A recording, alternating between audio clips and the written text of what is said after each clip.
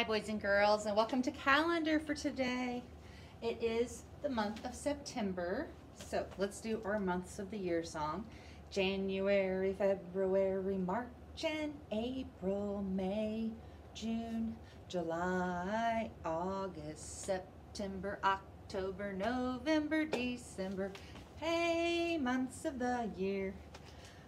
Hopefully you are learning those months if you don't already know them. It is September. I took that from up here where I have all of the months. Our next month starts with the ah sound. Oh, October. Last month, of course, was August. Today is what day of the week? Right here. So let's see if you can figure out which one this is when we sing the song. I know it's kind of far away. Sunday, Monday, Tuesday, Wednesday, Thursday, Friday, Saturday.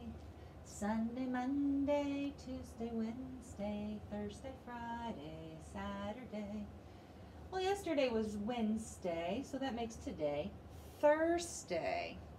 Let's count to see how many days we've had in the month of September.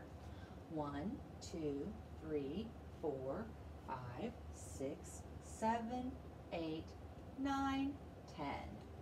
Yesterday we had a blue circle. Does anybody have a prediction about what today is going to be? Think it in your brain and let's see if you're right. Did you think it was going to be a rectangle, a red rectangle? If you did, you were right. Today is Thursday, September 10th, 2020. All right, I need to add a new popsicle stick into my cup for the ones. And now, how many do I have in the ones place? I have one, so I need to change that.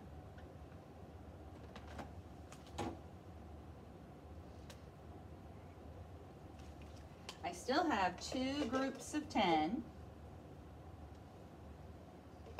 So two groups of 10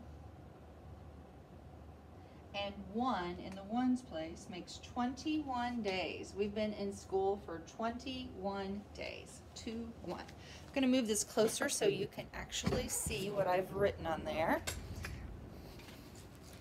So we have two groups of 10 and one in the ones. We would count that by counting by 10, 10, 20, and then we switch to counting by ones, 21.